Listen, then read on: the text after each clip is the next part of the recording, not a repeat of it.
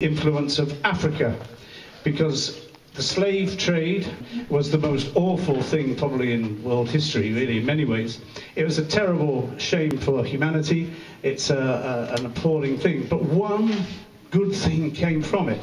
And that was that when the millions of Africans were transported to the United States to work in terrible conditions in the plantations, in the cotton fields, in the rice plantations, they brought with them their African culture and their African rhythm, their African dances, and their African vocals.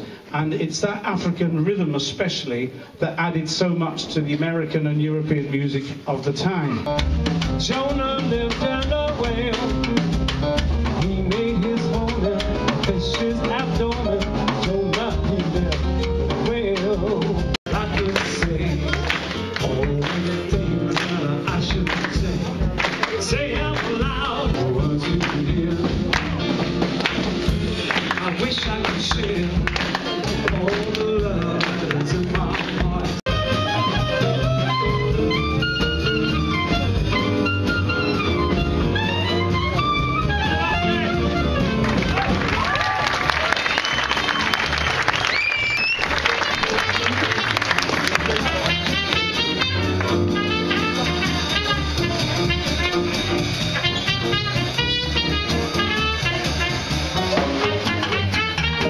Worth coming to. If you want more details, see us afterwards, and uh, I hope some of you again will be benevols as you were last year.